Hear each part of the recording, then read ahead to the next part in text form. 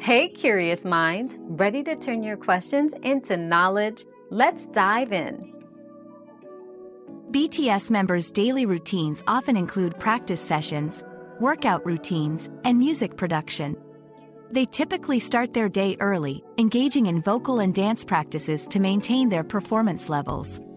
They also spend time in the studio, working on new music or perfecting their choreography. In addition to work-related activities, they dedicate time to personal hobbies and interacting with fans via social media. Ensuring a balanced routine helps them stay productive and creatively inspired. Your daily dose of discovery ends here, but the journey of learning never stops. Subscribe and join us again for more answers tomorrow.